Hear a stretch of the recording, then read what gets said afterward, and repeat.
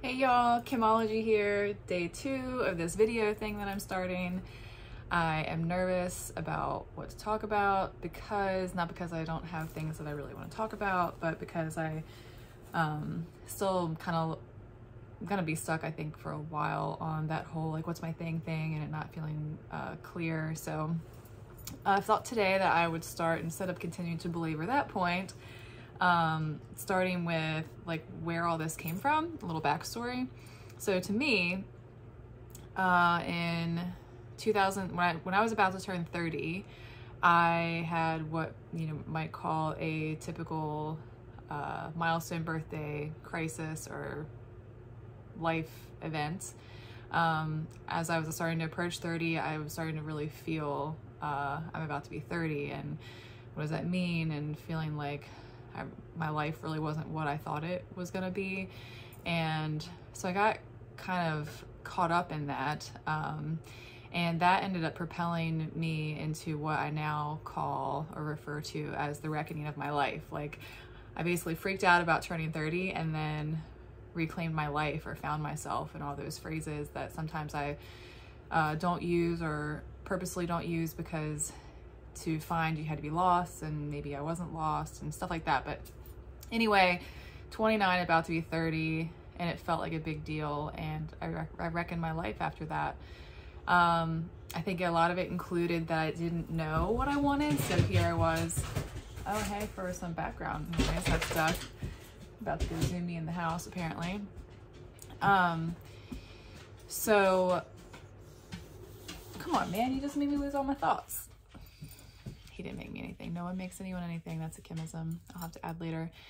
So turned 30 and it the ep, the like lead up to that was that I um felt like my life wasn't what I thought it should be, which means that it wasn't what I wanted. And then when I started asking those questions, like, well, what do you want?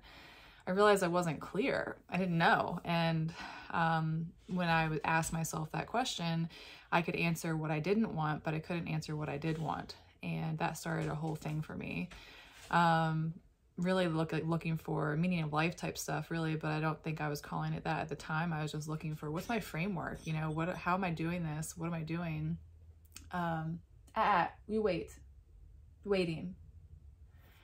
He rings the bell when he wants to go out which is really wonderful uh, but our fence is knocked down right now so he has taken to leaving every time he goes out so i've been saying no sometimes. Ah i said no Come, let it go. Well, this isn't going great. You're probably supposed to edit this stuff out. 30, meaning of life, didn't know what I wanted, started working on that. And then I was, I think I probably started reading, looking at stuff, like just trying to grasp on anything. I wasn't raised religious, so maybe religion is a framework that people use to guide their life. I didn't have that. Um, I didn't, I don't know, I like didn't know what my values were and was that something that most people know? I don't know. And maybe I had thoughts like, I think I know what they are, but I, do, I can't articulate them. I don't know what they are in that way, but they must be in there, right? So I just started working on that. At the same time, I, uh, well, before that, I left my then long-term partner. We'd been together for five years. He had recently proposed. We had a significant event towards the end of that five years that was probably part of this upset and uh, so I left that relationship. Didn't really think that I was like, it wasn't like a breakup, like done. It was like, I just need to figure some stuff out. I need some space type of thing. And that turned into years. And that's, that's kind of another story, but um, turned 30, left the biggest part of my life, which was my partnership and the place that I lived, moved somewhere else, started hiking a bunch, started trying to figure myself out, started dating other people, which is again another big part of that story, which is a good one that I will share. um, and in all that process, I think I was just looking for like, what are my guiding things? Like, what are my rules? And even trying to find the language for that, what resonated. And eventually, um, I would I would hear things I can't even right now recall what they were, they were other than I know that Tony Robbins eventually became a big aspect of that for me. Um, and then over more time, that got big and then it got small and I started to not like that. And again, that could be another story. But the point, I guess, is the the history, like where all this came from. It was a reckoning of my life that I the way that I got here and for years I was like I fucking love my life. I went from like this is not my life. I this is not my fucking life. I don't know what's going on.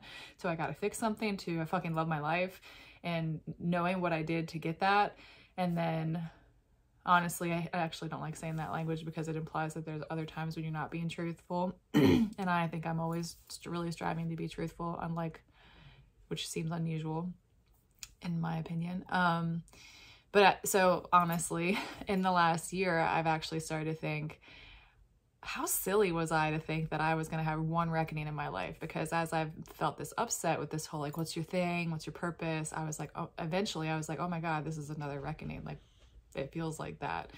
But this time I'm a little, I'm more aware of what that was like. So it's not as like, I have no idea what's going on.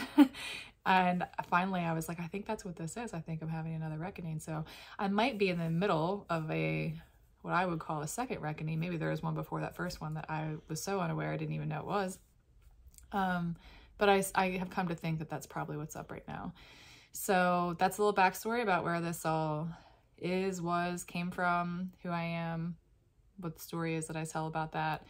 And um, this will be it for share number two, should we call it? I mean, I don't even have a name. This is how unorganized I feel. Like I always have to have like a name and a, this is how it is and this is what it'll all be about and the summary and like all this stuff. And right now I'm just, I'm just going to go with, I'm going to do a video a day and it'll be vlog style and I will talk about whatever the hell I want to talk about. And if anybody watches it, great. If nobody does, there will be something to come out of that too. So leave a comment or whatever you're supposed to do.